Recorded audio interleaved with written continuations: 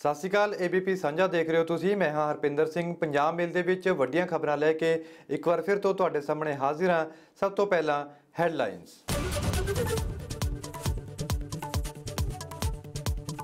ਪੰਜਾਬ ਦੇ ਵਿੱਚ ਚੋਣਾਂ ਤੋਂ ਪਹਿਲਾਂ ਧਮਾਕੇ ਦੀ ਵੱਡੀ ਸਾਜ਼ਿਸ਼ ਨਾਕਾਮ ਐਸਟੀਐਫ ਨੇ ਅੰਮ੍ਰਿਤਸਰ ਦੇ ਧਨੋਏ ਕਲਾਂ ਤੋਂ ਬਰਾਮਦ ਕੀਤੀ ਬਾਰੂਦ ਦੀ ਖੇਪ। 2 kilo 700 gram RDX 1 kilo 300 gram metal ball, detonator, digital timer, codex ਤਾਰ ਮਿਲੀ। 1 ਲੱਖ ਦੀ ਇੰਡੀਅਨ ਕਰੰਸੀ ਵੀ ਬਰਾਮਦ ਧਮਾਕਾ ਖੇਜ਼ ਸਮੱਗਰੀ ਦੇ ਪਾਕਿਸਤਾਨ ਤੋਂ ਆਉਣ ਦਾ ਸ਼ੱਕ। ਆਮ ਆਦਮੀ ਪਾਰਟੀ ਦਾ ਇਲੈਕਸ਼ਨ ਕਮਿਸ਼ਨ ਤੇ ਵੱਡਾ ਇਲਜ਼ਾਮ, ਆਪ ਦਾ ਦਾਵਾ ਇੱਕ ਪਾਰਟੀ ਨੂੰ ਰਜਿਸਟਰ ਕਰਨ ਦੇ ਲਈ ਨਿਯਮਾਂ ਦੇ ਵਿੱਚ ਬਦਲਾਅ। ਰਾਘਵ ਚੱਡਾ ਨੇ ਕਿਹਾ, ਬੀਜੇਪੀ ਦੇ ਇਸ਼ਾਰੇ ਤੇ ਕੰਮ ਕਰ ਰਿਹਾ election commission. Nun rape case ਦੇ ਵਿੱਚ ਜਲੰਧਰ ਦੇ ਸਾਬਕਾ ਬਿਸ਼ਪ ਫਰੈਂਕੋ ਮਲੱਕਲ ਨੂੰ ਰਾਹਤ, ਕੇਰਲ ਦੀ ਅਦਾਲਤ ਨੇ ਬਿਸ਼ਪ ਫਰੈਂਕੋ ਮਲੱਕਲ ਨੂੰ ਕੀਤਾ ਬਰੀ। 2018 ਦੇ ਵਿੱਚ ਫਰੈਂਕੋ ਮਲੱਕਲ ਖਿਲਾਫ ਦਰਜ ਹੋਈ ਸੀ F I R. Jalandhar church ਦੇ ਵਿੱਚ ਮਨਾਇਆ ਗਿਆ ਜਸ਼ਨ। ਪੰਜਾਬ ਦੇ ਵਿੱਚ ਕਰੋਨਾ ਨੂੰ ਰੋਕਣ ਲਈ ਵਧਾਈ ਗਈ ਟੈਸਟਿੰਗ, ਸਿਹਤ ਮੰਤਰੀ ਓਪੀ ਸੋਨੀ ਦਾ ਦਾਅਵਾ। ਹਰ ਰੋਜ਼ ਕੀਤੇ ਜਾ ਰਹੇ 36000 ਕਰੋਨਾ ਟੈਸਟ, ਭਾਰਤ ਦੇ ਵਿੱਚ ਇੱਕ ਦਿਨ ਅੰਦਰ 264000 ਕਰੋਨਾ ਦੇ ਨਵੇਂ ਕੇਸ ਆਏ ਸਾਹਮਣੇ। ਲੋਹੜੀ ਤੋਂ ਬਾਅਦ ਦੇਸ਼ ਭਰ ਦੇ ਵਿੱਚ ਮਕਰ ਸੰਕ੍ਰਾਂਤੀ ਮਨਾਈ ਗਈ। ਮਕਰ ਸੰਕ੍ਰਾਂਤੀ ਮੌਕੇ ਸ੍ਰੀ ਮੁਕਤਸਰ ਸਾਹਿਬ ਵਿਖੇ ਗੁਰਦੁਆਰਾ ਸਾਹਿਬ ਪਹੁੰਚੀ। ਦੂਰੋਂ ਦੂਰੋਂ ਸੰਗਤ ਸੰਗਤ ਨੇ ਪਵਿੱਤਰ ਸਰੋਵਰ ਦੇ ਵਿੱਚ ਇਸ਼ਨਾਨ ਕਰ ਗੁਰੂ ਦਾ ਲਿਆ ਆਸ਼ੀਰਵਾਦ। ਪੰਜਾਬ ਦੇ ਵਿੱਚ 1 ਮਹੀਨੇ ਬਾਅਦ ਵਿਧਾਨ ਸਭਾ ਚੋਣਾਂ ਹੋਣੀਆਂ ਨੇ ਤੇ ਚੋਣਾਂ ਤੋਂ ਪਹਿਲਾਂ ਪੰਜਾਬ ਦੇ ਵਿੱਚ ਵੱਡੀ ਧਮਾਕੇ ਦੀ ਸਾਜ਼ਿਸ਼ ਨੂੰ ਪੁਲਿਸ ਦੇ ਵੱਲੋਂ ਨਾਕਾਮ ਕੀਤਾ ਗਿਆ ਹੈ। ਪੰਜਾਬ ਪੁਲਿਸ ਦੇ ਵੱਲੋਂ ਅੰਮ੍ਰਿਤਸਰ ਦੇ ਧਰੋਏ ਕਲਾ ਤੋਂ 2 ਕਿਲੋ 700 ਗ੍ਰਾਮ ਆਰਡੀਐਕਸ ਅਤੇ ਹੋਰ ਧਮਾਕਾ ਖੇਜ਼ ਸਮੱਗਰੀ ਬਰਾਮਦ ਕੀਤੀ ਗਈ ਹੈ ਤੇ ਪੰਜਾਬ ਪੁਲਿਸ ਨੂੰ ਸ਼ੱਕ ਹੈ ਕਿ ਇਹ ਧਮਾਕਾ ਖੇਜ਼ ਸਮੱਗਰੀ ਪਾਕਿਸਤਾਨ ਤੋਂ ਭੇਜੀ ਗਈ ਹੈ ਪੰਜਾਬ ਵਿੱਚ ਵੱਡੇ ਧਮਾਕੇ ਦੀ ਸਾਜ਼ਿਸ਼ ਨਾਕਾਮ ਐਸਟੀਐਫ ਨੇ ਬਰਾਮਦ ਕੀਤੀ ਬਾਰੂਦ ਦੀ ਖੇਪ। ਪਾਕਿਸਤਾਨ ਬਾਰਡਰ ਦੇ ਨਜ਼ਦੀਕ ਖੇਤਾਂ 'ਚੋਂ ਮਿਲੀ ਖੇਪ। ਵਿਧਾਨ ਸਭਾ ਚੋਣਾਂ ਤੋਂ ਪਹਿਲਾਂ ਪੰਜਾਬ ਨੂੰ ਦਹਿਲਾਉਣ ਦੀ ਸਾਜ਼ਿਸ਼ ਰਚੀ ਜਾ ਰਹੀ ਹੈ। ਇਹ ਤਸਵੀਰਾਂ ਇਸ ਦਾ ਸਬੂਤ ਨੇ। ਅੰਮ੍ਰਿਤਸਰ ਦੇ ਸਰਹੱਦੀ ਪਿੰਡ ਧਨੋਏ ਕਲਾਂ ਤੋਂ ਪੰਜਾਬ ਪੁਲਿਸ ਦੀ ਸਪੈਸ਼ਲ ਟਾਸਕ ਫੋਰਸ ਐਸਟੀਐਫ ਨੇ ਬਾਰੂਦ ਦੀ ਭਾਰੀ ਖੇਪ ਬਰਾਮਦ ਕੀਤੀ ਹੈ। ਐਸਟੀਐਫ ਨੂੰ ਇਸ ਦੀ ਜਾਣਕਾਰੀ ਮਿਲੀ ਅਤੇ ਟੀਮ ਨੇ ਪਿੰਡ ਵਿੱਚ ਤਲਾਸ਼ੀ ਅਭਿਆਨ ਚਲਾਇਆ। ਇਸ ਦੇ ਵਿੱਚ 5 kilo IED 2 kilo 700 gram RDX 1 kilo 300 gram metal ball, detonator, digital timer, codex ਤਾਰ 1 ਲੱਖ ਦੀ ਇੰਡੀਅਨ ਕਰੰਸੀ ਐਸਟੀਐਫ ਕੋਲੇ ਅ, ਇੱਕ ਇੰਟੈਲੀਜੈਂਸ ਇਨਪੁਟ ਸੀਗੀ ਜਿਹਦੇ ਵਿੱਚ ਇਹ ਇਤਲਾਹ ਸੀਗੀ ਕਿ ਡਰੱਗਸ ਐਕਸਪਲੋਸਿਵਸ ਆਰਮਸ ਦੀ ਕਨਸਾਈਨਮੈਂਟ ਆ ਰਹੀ ਹੈ ਅਟਾਰੀ ਦੇ ਏਰੀਏ 'ਚ। ਸੋ ਇਸ ਇਸ ਇਨਫੋਰਮੇਸ਼ਨ ਤੇ ਐਕਟ ਕਰਦੇ ਹੋਏ ਐਸਟੀਐਫ ਦੀ ਜਿਹੜੀ ਟੀਮ ਹੈ ਆਪਣੇ ਏਆਈ ਸਾਹਿਬ ਰਿਸ਼ਪਾਲ ਸਿੰਘ ਦੇ ਨਾਲ ਆਪਣੇ ਆਫਸਰਸ ਨੂੰ ਨਾਲ ਲੈ ਕੇ ਇਹਨਾਂ ਨੂੰ ਉੱਥੇ ਸਰਚ ਦਾ ਆਪਰੇਸ਼ਨ ਚਲਾਇਆ। ਔਰ ਸਰਚ ਦੇ ਆਪਰੇਸ਼ਨ ਚ ਇਹਨਾਂ ਨੂੰ ਇੱਕ ਪੈਕੇਟ ਮਿਲਿਆ। ਪੈਕੇਟ ਖੋਲ ਕੇ ਦੇਖਿਆ ਗਿਆ ਪੈਕੇਟ ਸੀਲ ਸੀਗਾ, ਬੰਦ ਸੀਗਾ। ਇਹ ਸ਼ੱਕ ਹੋਇਆ ਕਿ ਉਸ ਦੇ ਵਿੱਚ ਐਕਸਪਲੋਸਿਵ ਹੋ ਸਕਦਾ ਹੈ।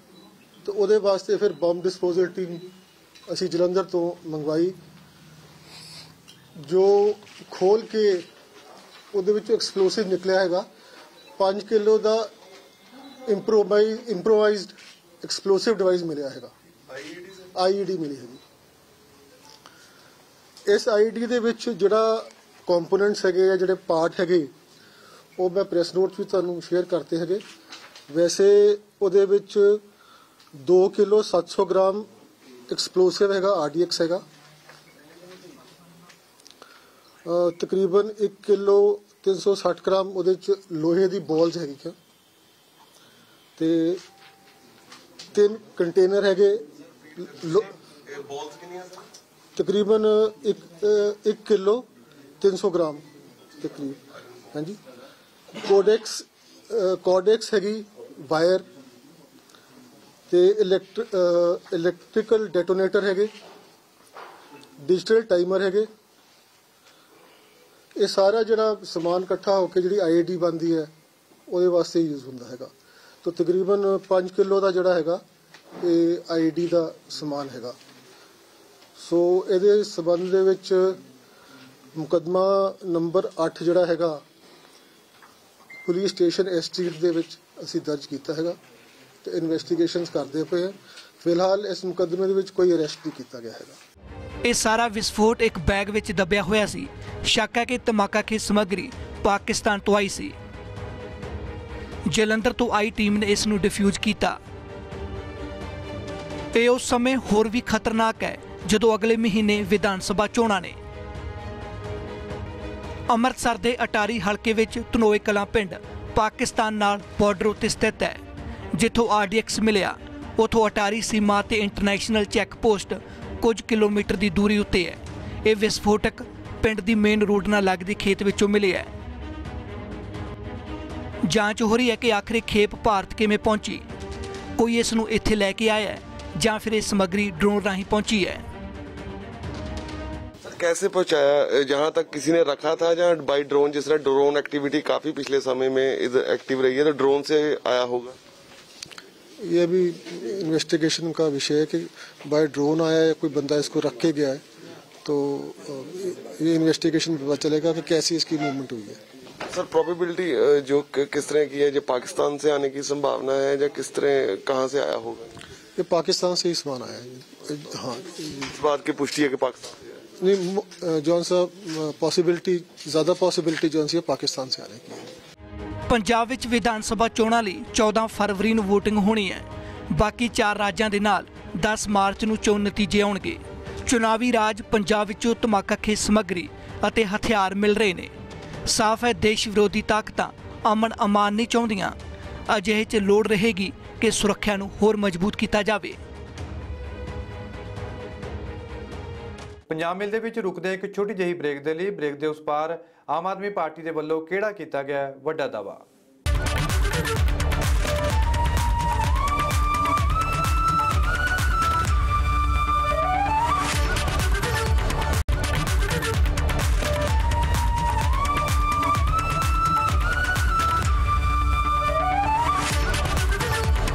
ਆਮ ਆਦਮੀ ਪਾਰਟੀ ਦੇ ਵੱਲੋਂ ਪੰਜਾਬ ਦੇ ਵਿੱਚ ਮੁੱਖ ਮੰਤਰੀ ਦਾ ਚਿਹਰਾ ਐਲਾਨਣ ਦੇ ਲਈ ਲੋਕਾਂ ਤੋਂ ਸੁਝਾਅ ਮੰਗੇ ਗਏ ਸਨ।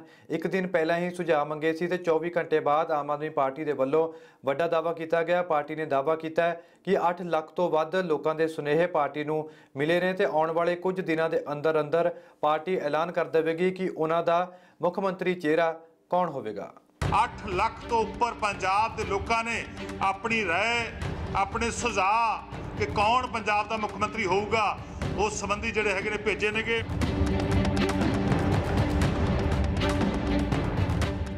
ਪੰਜਾਬ ਦੇ ਵਿੱਚ ਆਮ ਆਦਮੀ ਪਾਰਟੀ ਦੇ ਤਜਰਬੇ ਨੂੰ ਵੱਡਾ ਹੁੰਗਾਰਾ ਮਿਲਿਆ ਇਹ ਦਾਅਵਾ ਪਾਰਟੀ ਦੇ ਲੀਡਰ ਹਰਪਾਲ ਚੀਮਾ ਕਰ ਰਹੇ ਨੇ। ਆਮ ਆਦਮੀ ਪਾਰਟੀ ਮੁੱਖ ਮੰਤਰੀ ਦੇ ਚਿਹਰੇ ਦਾ ਐਲਾਨ ਜਲਦ ਕਰਨ ਜਾ ਰਹੀ ਹੈ, ਪਰ ਚਿਹਰਾ ਕੌਣ ਹੋਵੇਗਾ ਇਹ ਫੈਸਲਾ ਪੰਜਾਬ ਦੇ ਲੋਕਾਂ ਉੱਤੇ ਛੱਡਿਆ ਹੋਇਆ ਹੈ। ਆਮ ਆਦਮੀ ਪਾਰਟੀ ਨੇ ਮੁੱਖ ਮੰਤਰੀ ਦਾ ਚਿਹਰਾ ਐਲਾਨਣ ਦੇ ਲਈ ਲੋਕਾਂ ਤੋਂ ਸੁਝਾਅ ਮੰਗੇ ਸਨ। ਇੱਕ ਦਿਨ ਬਾਅਦ ਆਮ ਆਦਮੀ ਪਾਰਟੀ ਵੱਡਾ ਹੁੰਗਾਰਾ ਮਿਲਣ ਦਾ ਦਾਅਵਾ ਕਰ ਰਹੀ ਹੈ। ਪਿਛਲੇ 24 ਘੰਟਿਆਂ ਤੱਕ ਜਦੋਂ ਅਸੀਂ ਅਨਾਉਂਸਮੈਂਟ ਕੀਤੀ ਸੀ ਉਸ ਤੋਂ ਲੈ ਕੇ ਹੁਣ ਤੱਕ ਲਗਭਗ 24 ਘੰਟਿਆਂ ਦੇ ਵਿੱਚ 8 ਲੱਖ ਤੋਂ ਉੱਪਰ ਪੰਜਾਬ ਦੇ ਲੋਕਾਂ ਨੇ ਆਪਣੀ رائے ਆਪਣੇ ਸੁਝਾਅ ਕਿ ਕੌਣ ਪੰਜਾਬ ਦਾ ਮੁੱਖ ਮੰਤਰੀ ਹੋਊਗਾ ਉਸ ਸੰਬੰਧੀ ਜਿਹੜੇ ਹੈਗੇ ਨੇ ਭੇਜੇ ਨੇਗੇ ਲਗਭਗ 3 ਲੱਖ ਤੋਂ ਉੱਪਰ 3 ਲੱਖ ਤੋਂ ਉੱਪਰ ਜਿਹੜੇ ਨੇ WhatsApp ਤੇ ਮੈਸੇਜ ਆਏ ਨੇ ਉਸ ਨੰਬਰ ਦੇ ਉੱਤੇ ਔਰ 3 ਲੱਖ ਤੋਂ ਉੱਪਰ WhatsApp ਤੇ ਮੈਸੇਜ ਆਏ ਨੇ ਔਰ ਲਗਭਗ 4 ਲੱਖ ਤੋਂ ਉੱਪਰ 4 ਲੱਖ ਤੋਂ ਉੱਪਰ ਕਾਲਸ ਯਾਨੀ ਕਿ ਫੋਨ ਕਾਲਸ ਆਈਆਂ ਨੇਗੀਆਂ ਔਰ 1 ਲੱਖ ਤੋਂ ਉੱਪਰ ਜਿਹੜੇ ਨੇਗੇ ਵੌਇਸ ਮੈਸੇਜ ਆਏ ਨੇਗੇ 50000 ਤੋਂ ਜ਼ਿਆਦਾ ਜਿਹੜੇ ਨੇ ਮੈਸੇਜ ਆਏ ਨੇ ਟੈਕਸਟ ਮੈਸੇਜ ਆਏ ਨੇ। ਦਿੱਲੀ ਦੇ ਮੁੱਖ ਮੰਤਰੀ ਅਰਵਿੰਦ ਕੇਜਰੀਵਾਲ ਨੇ ਵੀਰਵਾਰ ਨੂੰ ਨੰਬਰ ਜਾਰੀ ਕੀਤਾ ਸੀ। ਪਾਰਟੀ ਵੱਲੋਂ 17 ਤਰੀਕ ਸ਼ਾਮ 5 ਵਜੇ ਤੱਕ ਇਸ ਨੰਬਰ ਤੇ ਕਾਲ ਜਾਂ ਮੈਸੇਜ ਕਰਕੇ ਲੋਕਾਂ ਨੂੰ ਸੀਐਮ ਚਿਹਰਾ ਚੁਣਨ ਦਾ ਮੌਕਾ ਦਿੱਤਾ ਗਿਆ ਹੈ। ਇਸ ਨੰਬਰ ਉੱਤੇ ਜਿਸ ਵੀ ਲੀਡਰ ਦੇ ਨਾਮ ਉੱਤੇ ਵੱਧ ਤੋਂ ਵੱਧ ਮੈਸੇਜ ਜਾਂ ਕਾਲ ਹੋਣਗੀਆਂ, ਉਸ ਨੂੰ ਆਮ ਆਦਮੀ ਪਾਰਟੀ ਵੱਲੋਂ 2022 ਦੇ ਲਈ ਚਿਹਰਾ ਐਲਾਨ ਦਿੱਤਾ ਜਾਵੇਗਾ। 70748 70748 70748 70748 पंजाब के लोगों से मेरी विनती है कि ये शायद भारत में पहली बार हो रहा है। उन्नीस सौ सैंतालीस के बाद इतने चुनाव हुए। आज तक किसी पार्टी ने जनता से नहीं पूछा कि हमारा सीएम चेहरा कौन होना चाहिए। पहली बार आम आदमी पार्टी जनता से पूछ रही है कि भाई अब सरकार बनने जा रही है। हम नहीं तय करेंगे आप तय करो कि सीएम चेहरा कौन होना चाहिए ਆਮ ਆਦਮੀ ਪਾਰਟੀ ਵੱਲੋਂ ਨੰਬਰ ਜਾਰੀ ਕਰਨ ਦੇ 24 ਘੰਟਿਆਂ ਬਾਅਦ ਚੰਗਾ ਹੁੰਗਾਰਾ ਮਿਲਣ ਦਾ ਦਾਅਵਾ ਕੀਤਾ ਜਾ ਰਿਹਾ ਹੈ ਪਰ ਵਿਰੋਧੀ ਪਹਿਲਾਂ ਹੀ ਆਮ ਆਦਮੀ ਪਾਰਟੀ ਤੇ ਨਿਸ਼ਾਨੇ ਸਾਧ ਚੁੱਕੇ ਨੇ ਉਹ ਸਾਰਾ ਡਰਾਮਾ ਹੈ ਆ ਆਪਣੇ ਆਪ ਫੈਸਲਾ ਕੇਜਰੀਵਾਲ ਕਰਦਾ ਕਿਹਨੂੰ ਬਣਾਉਣਾ ਹੈ ਆ ਇੱਕ ਪਰਸੈਪਸ਼ਨ ਸਾਰੀ ਕਿ ਜਿੰਨਾ ਕੇਜਰੀਵਾਲ ਦਾ ਜਿਹੜਾ ਏਮ ਹੈ ਉਹਦੀ ਇੱਕੋ ਏਮ ਹੈ ਕੇਜਰੀਵਾਲ ਚਾਹੁੰਦਾ ਮੈਂ ਚੀਫ ਮਿਨਿਸਟਰ ਬਣਨਾ ਹੈ ਜਿਹੜਾ ਵੀ ਫੇਸ ਲਿਆਉਣਾ ਚਾਹੁੰਦੇ ਹੈ ਉਹ ਕੱਲਾ ਇਲੈਕਸ਼ਨ ਤੱਕ ਹੈ ਡਮੀ ਫੇਸ अरविंद केजरीवाल जो कि बहुत शातिर दिमाग है आज उसने भगवंत मान का भी पत्ता काटने का रास्ता निकालकर और भगवंत मान को भी साफ कर दिया ये कह के मैं तो भगवंत मान को बनाना चाहता हूं पर मैं पंजाब के लोगों की राय लूंगा फोन पे अब वो फोन की राय किसने सुनी किसने देखी किसने करी ना कोई और चेहरा ना कोई बात बस एक ही पर्पस है भगवंत मान का पत्ता काटने का रास्ता है ਆਮ ਆਦਮੀ ਪਾਰਟੀ ਵੱਲੋਂ ਸੁਝਾਅ ਤਾਂ ਮੰਗੇ ਗਏ ਨੇ ਪਰ ਹੁਣ ਮੁੱਖ ਮੰਤਰੀ ਦਾ ਚਿਹਰਾ ਕਿਸ ਨੂੰ ਬਣਾਉਂਦੇ ਨੇ ਇਸ ਦਾ ਇੰਤਜ਼ਾਰ ਕੁਝ ਦਿਨਾਂ ਬਾਅਦ ਹੀ ਖਤਮ ਹੋ ਜਾਵੇਗਾ ਨਨ ਰੇਪ ਕੇਸ ਦੇ ਵਿੱਚ ਜਲੰਧਰ ਦੇ ਸਾਬਕਾ ਬਿਸ਼ਪ ਫ੍ਰੈਂਕੋ ਮੁਲੱਕਲ ਨੂੰ ਵੱਡੀ ਰਾਹਤ ਮਿਲੀ ਹੈ। ਫ੍ਰੈਂਕੋ ਮੁਲੱਕਲ ਨੂੰ ਕੇਰਲ ਦੀ ਅਦਾਲਤ ਦੇ ਵੱਲੋਂ ਬਰੀ ਕਰ ਦਿੱਤਾ ਗਿਆ ਹੈ। ਆਖਰਕਾਰ ਇਹ ਕੇਸ ਕਦੋਂ ਦਾ ਹੈ ਤੇ ਹੁਣ ਤੱਕ ਇਸ ਕੇਸ ਦੇ ਵਿੱਚ ਕੀ ਕੀ ਹੋਇਆ ਹੈ ਤੇ ਕਿਵੇਂ ਫ੍ਰੈਂਕੋ ਮੁਲੱਕਲ ਨੂੰ ਰਾਹਤ ਮਿਲੀ ਹੈ ਦੇਖਦੇ ਹਾਂ ਇਸ ਰਿਪੋਰਟ ਦੇ ਵਿੱਚ।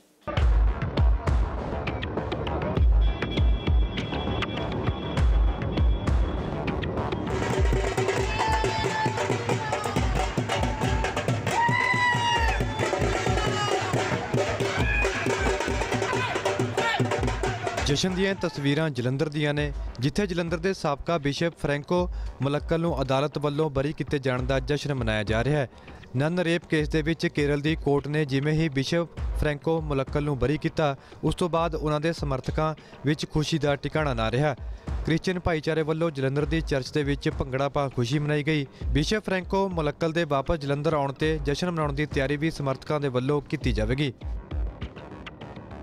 ਔਰ ਇਹ ਜੋ ਸਾਡੀ ਲੜਾਈ ਸੀਗੀ, ਜੋ ਅਸੀਂ ਪਹਿਲੇ ਦਿਨ ਕਿਹਾ ਸੀਗਾ ਕਿ ਸਾਨੂੰ ਗਲਤ ਫਸਾਇਆ ਜਾ ਰਿਹਾ ਹੈ, ਅੱਜ ਉਹ ਜੁਡੀਸ਼ਰੀ ਦੇ ਆਰਡਰ ਦੇ ਨਾਲ ਸਬੂਤ ਹੋ ਗਿਆ ਹੈ। ਬਿਸ਼ਪ ਜੀ ਨੇ ਪਹਿਲੇ ਦਿਨ ਹੀ ਕਿਹਾ ਸੀਗਾ ਕਿ ਮੈਨੂੰ ਕੋਰਟ ਤੇ ਪੂਰਾ ਵਿਸ਼ਵਾਸ ਹੈ ਔਰ ਮੈਨੂੰ ਜੋ ਜਸਟਿਸ ਹੈ ਉੱਥੋਂ ਹੀ ਮਿਲੇਗੀ। ਅਸੀਂ ਸਾਰੇ ਬਹੁਤ ਮੁਸ਼ਕਲਾਂ ਦੇ ਵਿੱਚ ਸੀ, ਪਰ ਸਾਡਾ ਇਹੀ ਪ੍ਰਾਰਥਨਾ ਸੀ ਕਿ ਪ੍ਰਭੂ ਖੁਦਾ ਜੋ ਵੀ ਸਾਡੇ ਇਸ ਡਾਇਸਿਸ ਦੇ ਲਈ, ਆਪਣੇ ਸਾਡੇ ਬਿਸ਼ਪ ਸਾਹਿਬ ਦੇ ਲਈ ਜ਼ਰੂਰ ਇਹ ਦਿਨ ਇਹ ਡਿਸੀਜਨ ਜ਼ਰੂਰ ਦੇਵੇਗਾ। ਬਿਸ਼ਪ ਸਾਹਿਬ ਜਲਦੀ ਆਉਣ ਵਾਲਾ ਹੈ ਅਤੇ ਜ਼ਰੂਰ ਜਦੋਂ ਬਿਸ਼ਪ ਸਾਹਿਬ ਵਾਪਸ ਆਏਗਾ ਪੱਕੇ ਤੌਰ ਤੇ ਖੁਸ਼ੀ ਦੇ ਨਾਲ ਉਸ ਨੂੰ ਅਸੀਂ ਵੈਲਕਮ ਕਰਾਂਗੇ। ਬਿਸ਼ਪ ਫ੍ਰੈਂਕੋ ਮੁਲੱਕਲ ਬਲਾਤਕਾਰ ਦੇ ਕੇਸ ਦੇ ਵਿੱਚ ਬਰੀ ਤਾਂ ਹੋ ਗਏ ਨੇ ਪਰ ਇਹ ਮਾਮਲਾ ਕੀ ਹੈ ਉਸ ਬਾਰੇ ਵੀ ਵਿਸਥਾਰ ਨਾਲ ਜਾਣਦੇ ਹਾਂ।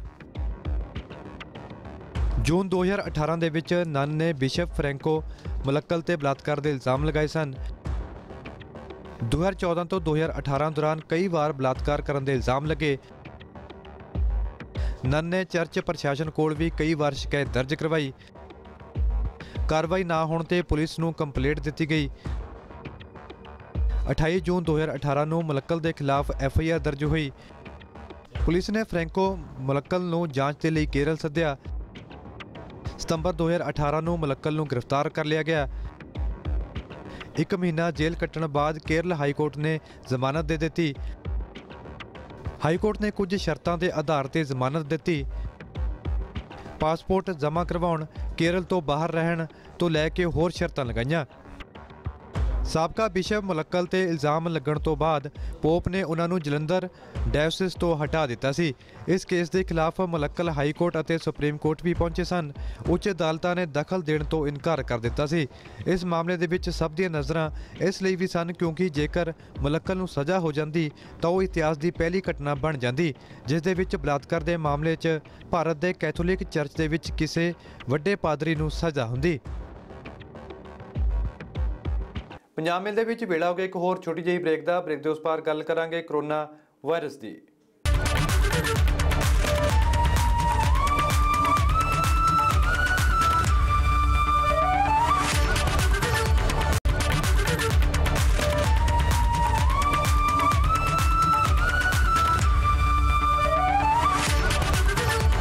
ਪੰਜਾਬ ਦੇ ਵਿੱਚ ਕਰੋਨਾ ਵਾਇਰਸ ਦਾ ਖਤਰਾ ਹੌਲੀ-ਹੌਲੀ ਵਧਦਾ ਜਾ ਰਿਹਾ ਹੈ। ਚੋਣਾਂ ਵੀ ਨੇੜੇ ਆ ਰਹੀਆਂ ਨੇ, ਜਿਸ ਦੇ ਕਾਰਨ ਸਿਹਤ ਵਿਭਾਗ ਦੀ ਟੈਨਸ਼ਨ ਵੀ ਵਧੀ ਹੋਈ ਹੈ।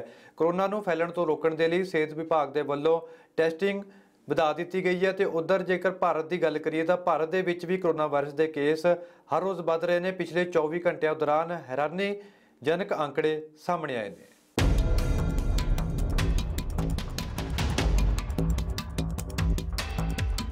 ਉਹ 36000 ਦੇ ਕਰੀਬ ਅਸੀਂ ਟੈਸਟ ਕੀਤਾ। ਸੋ ਮੈਂ ਸਮਝਣਾ ਕੇਸ ਵਧਣ ਦੇ ਨਾਲ ਅਸੀਂ ਟੈਸਟ ਵੀ ਜਿਹੜੇ ਨੇ ਉਹ ਵਧਦੇ ਜਾ ਰਹੇ ਨੇ। ਪੰਜਾਬ ਦੇ ਵਿੱਚ ਕੋਰੋਨਾ ਵਾਇਰਸ ਨੂੰ ਫੈਲਣ ਤੋਂ ਰੋਕਣ ਦੇ ਲਈ ਟੈਸਟਿੰਗ ਵੀ ਵਧਾ ਦਿੱਤੀ ਹੈ। ਇਹ ਦਾਅਵਾ ਸਿਹਤ ਮੰਤਰੀ ਓਪੀ ਸੋਨੀ ਕਰ ਰਹੇ ਨੇ। ਕਰੋਨਾ ਦੀ ਤੀਜੀ ਲਹਿਰ ਆਉਣ ਤੋਂ ਪਹਿਲਾਂ ਸੂਬੇ ਦੇ ਵਿੱਚ ਇੱਕ ਦਿਨ ਅੰਦਰ 10000 ਟੈਸਟਿੰਗ ਕੀਤੀ ਜਾ ਰਹੀ ਸੀ ਪਰ ਹੁਣ ਟੈਸਟਿੰਗ ਵਧਾ ਦਿੱਤੀ ਗਈ ਹੈ ਅਤੇ ਇਹ 36000 ਤੱਕ ਪਹੁੰਚ ਗਈ ਹੈ। ਸਰਕਾਰ ਵੱਲੋਂ ਟੀਚਾ ਇੱਕ ਦਿਨ ਅੰਦਰ 40000 ਟੈਸਟਿੰਗ ਦਾ ਰੱਖਿਆ ਗਿਆ ਹੈ। ਵੇਖੋ ਅਸੀਂ ਕੱਲ ਵੀ ਜਿਹੜਾ ਹੈ, ਉਹ 36000 ਦੇ ਕਰੀਬ ਅਸੀਂ ਟੈਸਟ ਕੀਤਾ। ਸੋ ਮੈਂ ਸਮਝਣਾ ਕੇਸ ਵਧਣ ਦੇ ਨਾਲ ਅਸੀਂ ਟੈਸਟ ਵੀ ਜਿਹੜੇ ਨੇ ਉਹ ਵਧਦੇ ਜਾ ਰਹੇ ਨੇ। ਸੋ ਕੇਸ ਜਿਹੜੇ ਨੇ ਕਾਫੀ ਪੋਜ਼ਿਟਿਵ ਜਿਹੜੇ ਨੇ, ਉਹ ਆਏ ਨੇ। 17% ਜਿਹੜੇ ਨੇ ਉਹ ਪੋਜ਼ਿਟਿਵ ਕੇਸ ਜਿਹੜੇ ਨੇ ਆਏ ਨੇ। ਸੋ ਮੈਂ ਸਮਝਦਾ ਕਿ ਤਿੰਨ ਕੁ ਦਿਨਾਂ ਤੋਂ ਬਿਲਕੁਲ ਜਿਹੜੇ ਨੇ, ਉਹ ਇਹੋ 18% 17% ਇਹਦੇ ਆ ਲਾਗੇ ਆ ਰਹੇ ਨੇ। ਸੋ ਵਧਣੇ ਜਿਹੜੇ ਨੇ, ਜਿਸ ਤਰ੍ਹਾਂ ਪਹਿਲਾਂ ਬੜੀ ਫਾਸਟ ਵਧੇ ਸੀਗੇ, ਹੁਣ ਤਿੰਨ ਦਿਨ ਤੋਂ ਬਿਲਕੁਲ ਬਰਾਬਰ ਆ ਰਹੇ ਨੇ। ਸੋ ਜਿਹੜੇ ਸਾਡੇ ਹਸਪਤਾਲਾਂ 'ਚ ਆ ਰਹੇ ਨੇ ਪੇਸ਼ੈਂਟ ਉਹ ਬਹੁਤ ਘੱਟ ਆ ਰਹੇ ਨੇ। ਪੰਜਾਬ ਦੇ ਵਿੱਚ ਕਰੋਨਾ ਨੂੰ ਫੈਲਣ ਤੋਂ ਰੋਕਣ ਦੇ ਲਈ ਸਰਕਾਰ ਵੈਕਸੀਨੇਸ਼ਨ ਤੇ ਵੀ ਜ਼ੋਰ ਦੇ ਰਹੀ ਹੈ। ਵੇਖੋ ਅਸੀਂ ਪੰਜਾਬ 'ਚ ਕਾਫੀ ਜਿਹੜੀ ਆ ਫਸਟ ਡੋਜ਼ ਜਿਹੜੀ ਆ ਉਹ 85% ਦੇ ਕਰੀਬ ਅਸੀਂ ਦੇ ਚੁੱਕੇ ਆ ਲੋਕਾਂ ਨੂੰ ਵੈਕਸੀਨ।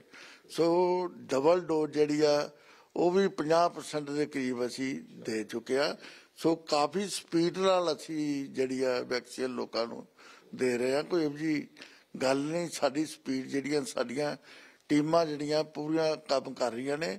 ਕਿਸੇ ਤਰ੍ਹਾਂ ਦੀ ਕੋਈ ਅਸੀਂ ਸਰਕਾਰ ਵੱਲੋਂ ਕਮੀ ਜਿਹੜੀ ਆ, ਉਹ ਆਉਣ ਨਹੀਂ ਦੇ ਰਹੇ। ਸਿਹਤ ਮੰਤਰੀ ਭਾਵੇਂ ਸਾਰੇ ਹਾਲਾਤ ਸਹੀ ਹੋਣ ਦਾ ਦਮ ਭਰ ਰਹੇ ਨੇ, ਚੋਣਾਂ ਤੋਂ ਪਹਿਲਾਂ ਨਿਤ ਵੱਧ ਰਹੇ ਕੇਸ, ਚਿੰਤਾ ਦਾ ਵਿਸ਼ਾ ਜ਼ਰੂਰ ਨੇ। 13 ਜਨਵਰੀ ਨੂੰ ਪੰਜਾਬ ਦੇ ਵਿੱਚ 6083 ਕੇਸ ਦਰਜ ਕੀਤੇ ਗਏ। ਇੱਕ ਦਿਨ ਅੰਦਰ 6 ਲੋਕਾਂ ਨੇ ਦਮ ਤੋੜ ਦਿੱਤਾ। ਪੋਜ਼ਿਟਿਵਿਟੀ ਰੇਟ 17.3% ਰਿਹਾ। ਸੂਬੇ ਦੇ ਵਿੱਚ 30384 ਐਕਟਿਵ ਕੇਸ ਨੇ। ਦੇਸ਼ ਦੇ ਵਿੱਚ ਜਾਨਲੇਵਾ ਕਰੋਨਾ ਮਹਾਮਾਰੀ ਦੀ ਰਫ਼ਤਾਰ ਬੇਕਾਬੂ ਹੋ ਰਹੀ ਹੈ। ਨਾਲ ਹੀ ਕਰੋਨਾ ਦੇ ਸਭ ਤੋਂ ਖਤਰਨਾਕ ਵੇਰੀਐਂਟ ਓਮਿਕਰੋਨ ਦੇ ਮਾਮਲੇ ਵੀ ਤੇਜ਼ੀ ਨਾਲ ਵਧ ਰਹੇ ਨੇ। 24 ਘੰਟਿਆਂ ਵਿੱਚ 264202 ਨਵੇਂ ਕੇਸ ਭਾਰਤ ਦੇ ਵਿੱਚ ਦਰਜ ਕੀਤੇ ਗਏ। ਓਮਿਕਰੋਨ ਵੇਰੀਐਂਟ ਦੇ 5753 ਮਾਮਲੇ ਸਾਹਮਣੇ ਆ ਚੁੱਕੇ ਨੇ। ਇੱਕ ਦਿਨ ਅੰਦਰ 315 ਲੋਕਾਂ ਨੇ ਦਮ ਤੋੜਿਆ ਹੈ। ਜਿਸ ਦੇ ਵਿੱਚ ਪੋਜ਼ਿਟਿਵਿਟੀ ਰੇਟ 14.7% ਹੈ। ਐਕਟਿਵ ਕੇਸਾਂ ਦੀ ਸੰਖਿਆ ਵੱਧ ਕੇ 12,72,000 ਹੋ ਗਈ ਹੈ। ਦੇਸ਼ ਦੀ ਰਾਜਧਾਨੀ ਦਿੱਲੀ ਵਿੱਚ ਕੋਰੋਨਾ ਮਹਾਮਾਰੀ ਦੇ ਵਾਧੇ ਮਾਮਲਿਆਂ ਵਿਚਕਾਰ ਸ਼ੁੱਕਰਵਾਰ ਨੂੰ ਥੋੜੀ ਰਾਹਤ ਮਿਲ ਸਕਦੀ ਹੈ। ਵੀਰਵਾਰ ਨੂੰ ਇੱਕ ਦਿਨ ਦੇ ਅੰਦਰ 28867 ਕੇਸ ਮਿਲੇ। ਪੋਜ਼ਿਟਿਵਿਟੀ ਰੇਟ ਵੱਧ ਕੇ 29.21% ਪਹੁੰਚ ਗਿਆ ਹੈ। ਦਿੱਲੀ ਦੇ ਵਿੱਚ ਡੈਥ ਰੇਟ 1.53% ਹੈ। ਭਾਰਤ ਦੇ ਵਿੱਚ ਕਰੋਨਾ ਦੇ ਵੱਧ ਰਹੇ ਕੇਸਾਂ ਨੇ ਕੇਂਦਰ ਸਰਕਾਰ ਦੀ ਚਿੰਤਾ ਵੀ ਵਧਾਈ ਹੋਈ ਹੈ। ਇਸ ਲਈ ਪ੍ਰਧਾਨ ਮੰਤਰੀ ਨਰਿੰਦਰ ਮੋਦੀ ਨੇ ਵੀਰਵਾਰ ਨੂੰ ਸੂਬਿਆਂ ਦੇ ਮੁੱਖ ਮੰਤਰੀਆਂ ਨਾਲ ਮੀਟਿੰਗ ਵੀ ਕੀਤੀ ਸੀ।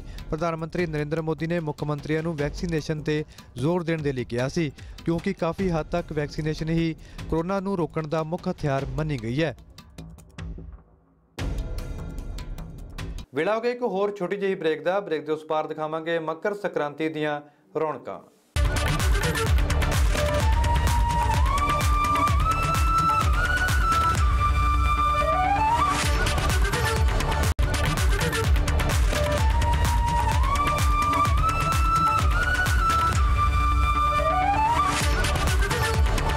ਲੋਹੜੀ ਤੋਂ ਬਾਅਦ ਮਕਰ ਸੰਕ੍ਰਾਂਤੀ ਦਾ ਤਿਉਹਾਰ ਦੇਸ਼ ਭਰ ਦੇ ਵਿੱਚ ਸ਼ਰਧਾ ਭਾਵਨਾ ਦੇ ਨਾਲ ਮਨਾਇਆ ਗਿਆ ਆਖਰ ਮਕਰ ਸੰਕ੍ਰਾਂਤੀ ਦੇ ਮਾਇਨੇ ਕੀ ਨੇ ਤੇ ਪੰਜਾਬ ਦੇ ਵਿੱਚ ਇਸ ਨੂੰ ਕਿਸ ਨਾਮ ਦੇ ਨਾਲ ਜਾਣਿਆ ਜਾਂਦਾ ਤੇ ਇਸ ਦਾ ਇਤਿਹਾਸ ਪੂਰਾ ਕੀ ਹੈ, ਇਹ ਜਾਣਨ ਦੇ ਲਈ ਦੇਖਦੇ ਹਾਂ ਇੱਕ ਖਾਸ ਰਿਪੋਰਟ।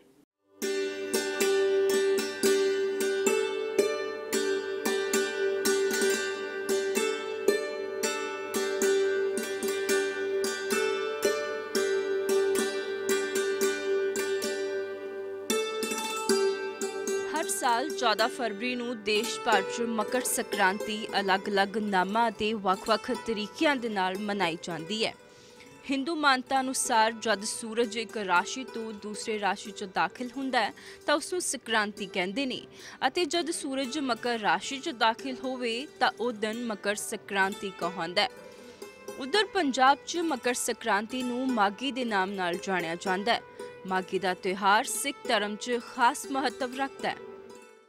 ਹਰ ਸਾਲ 40 ਸਿੱਖ ਮੁਕਤਿਆਂ ਦੀ ਸ਼ਹਾਦਤ ਦੀ ਯਾਦ 'ਚ ਸ਼੍ਰੀ ਮੁਕਤਸਰ ਸਾਹਿਬ ਵਿਖੇ ਮਾਗੀ ਦਾ ਤਿਉਹਾਰ ਮੇਲੇ ਦੇ ਰੂਪ 'ਚ ਮਨਾਇਆ ਜਾਂਦਾ ਹੈ।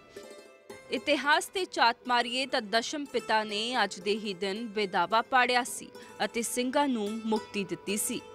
ਬੀਤੇ ਸਮੇਂ ਦੌਰਾਨ ਸ਼੍ਰੀ ਮੁਕਤਸਰ ਸਾਹਿਬ ਦਾ ਨਾਮ ਖਿਦਰਾਣਾ ਸੀ। ਇੱਥੇ ਇੱਕ ਪਵਿੱਤਰ ਸਰੋਵਰ ਬਣਿਆ ਹੋਇਆ ਹੈ। ਗੁਰੂ ਗੋਬਿੰਦ ਸਿੰਘ ਜੀ ਨੇ ਇਹ ਬਖਸ਼ਿਸ਼ ਕੀਤੀ ਸੀ ਕਿ ਜਿਹੜਾ ਇਸ ਸਰੋਵਰ 'ਚ ਇਸ਼ਨਾਨ ਕਰੇਗਾ, ਉਹ ਪਾਪਾ ਤੋਂ ਮੁਕਤ ਹੋ ਜਾਏਗਾ। ਇਹ ਸਰੋਵਰ ਨੂੰ ਸਤਿਗੁਰੂ ਸੱਚੇ ਪਾਤਸ਼ਾਹ ਨੇ ਮੁਕਤੀ ਦੇ ਸਰੋਵਰ ਦਾ ਖਿਤਾਬ ਦਿੱਤਾ ਹੈ, ਕਿਉਂਕਿ ਸਨਾਤਨ ਮਤ ਵਿੱਚ ਇਸ਼ਨਾਨ ਦੀ ਬਹੁਤ ਵੱਡੀ ਮਹੱਤਤਾ ਹੈ। ਉਸ ਵੇਲੇ ਲੋਕ ਹਰਿਦੁਆਰ, ਪ੍ਰਯਾਗ ਆਦਿਕ ਤੀਰਥਾਂ ਤੇ ਜਾ ਕੇ ਇਸ਼ਨਾਨ ਕਰਦੇ ਨੇ ਮਾਘ ਦੇ ਸਮੇਂ। ਤੇ ਇੱਥੇ ਜੋ ਭਾਈ ਮਾਹ ਸਿੰਘ ਹੋਣਾ ਨੇ ਸਤਿਗੁਰੂ ਪਿਆਰ ਦੇ ਵਿੱਚ ਆਪਣੀਆਂ ਸ਼ਹਾਦਤਾਂ ਪ੍ਰਾਪਤ ਕੀਤੀਆਂ ਸਨ। ਉਹਨਾਂ ਨੇ ਇਸ ਧਰਤੀ ਨੂੰ ਮੁਕਤੇ ਦਾ ਖਿਤਾਬ ਲੈ ਕੇ ਦਿੱਤਾ ਸੀ, ਵਰ ਲੈ ਕੇ ਦਿੱਤਾ ਸੀ। ਫਿਰ ਇਹ ਸਥਾਨ ਜਿਹੜਾ ਸਰੋਵਰ ਹੈ ਨਾਲ ਇਹਨੂੰ ਮੁਕਤੀ ਦਾ ਸਰੋਵਰ ਆਖਿਆ ਜਾਂਦਾ ਹੈ। ਮਾਗੀ ਦੇ ਸਮੇਂ ਮਾਗ ਮੱਜਣ ਸੰਗ ਸਾਧੂਆਂ ਧੂੜੀ ਕਰ ਇਸ਼ਨਾਨ, ਬਹੁਤ ਵੱਡੀ ਗਿਣਤੀ ਵਿੱਚ ਦੇਸ਼ਾਂ ਵਿਦੇਸ਼ਾਂ ਤੋਂ ਸੰਗਤਾਂ ਇਸ ਸਰੋਵਰ ਦੇ ਵਿੱਚ ਆ ਕੇ ਇਸ਼ਨਾਨ ਕਰਦੀਆਂ ਤੇ ਨਾਲ ਹੀ ਜੋ ਗੁਰੂ ਸਾਹਿਬ ਜੀ ਦਾ ਫਰਮਾਨ ਹੈ, ਸਾਧੂਆਂ ਦੀ ਧੂੜੀ 'ਚ ਇਸ਼ਨਾਨ ਕਰਨਾ, ਨਾਮ ਜਪਣਾ, ਧਿਆਉਣਾ, ਉਹ ਵੀ ਸੰਗਤਾਂ ਆ ਕੇ ਬਾਣੀ ਦੇ ਨਾਲ ਜੁੜਦੀਆਂ ਹਨ। ਮਾਗੀ ਵਾਲੇ ਦਿਨ ਲੋਕੀ ਸ਼ਰਧਾ ਦੇ ਨਾਲ ਸਰੋਵਰ 'ਚ ਇਸ਼ਨਾਨ ਕਰਦੇ ਨੇ। ਇਸ਼ਨਾਨ ਪਿੱਛੋਂ ਸੰਗਤਾਂ ਨਗਰ ਕੀਰਤਨ ਦੇ ਰੂਪ 'ਚ ਮੁਕਸਰ ਦੇ ਹੋਰ ਪਵਿੱਤਰ ਗੁਰਦੁਆਰਿਆਂ ਦੇ ਦਰਸ਼ਨ ਦੇ ਲਈ ਨਿਕਲਦੀਆਂ ਨੇ। ਮਾਗੀ ਦੇ ਤਿਉਹਾਰ ਤੇ ਸਾਧ ਸੰਗਤ ਸਵੇਰ ਤੋਂ ਹੀ ਗੁਰਦੁਆਰਾ ਸਾਹਿਬ 'ਚ ਨਤਮਸਤਕ ਹੋਣ ਦੇ ਲਈ ਪਹੁੰਚ ਕਰ ਰਹੀ ਹੈ। ਗੁਰੂ ਘਰ ਦਾ ਆਸ਼ੀਰਵਾਦ ਹਾਸਲ ਕੀਤਾ ਗਿਆ ਹੈ। ਪੰਜਾਬ ਮੇਲ ਦੇ ਵਿੱਚ ਫਿਲਹਾਲ ਇੰਨਾ ਹੀ। ਪਰ ਤੁਸੀਂ ਆਪਣਾ ਪਸੰਦੀਦਾ channel ABP Sanjha Tata sky ਦੇ ਚੈਨਲ ਨੰਬਰ 1929 ਤੇ ਦੇਖ ਸਕਦੇ ਹੋ। ਨਾਲ ਹੀ ਆਪਣੇ ਕੇਬਲ ਆਪਰੇਟਰ ਨੂੰ ਵੀ ਕਹੋ। ਮੈਨੂੰ ਦਿਓ ਇਜਾਜ਼ਤ ਦੇਸ਼ ਦੁਨੀਆ ਤੇ ਪੰਜਾਬ ਦੀ ਹਰ ਵੱਡੀ ਖਬਰ ਲਈ। ਦੇਖਦੇ ਰਹੋ ABP ਸਾਂਝਾ।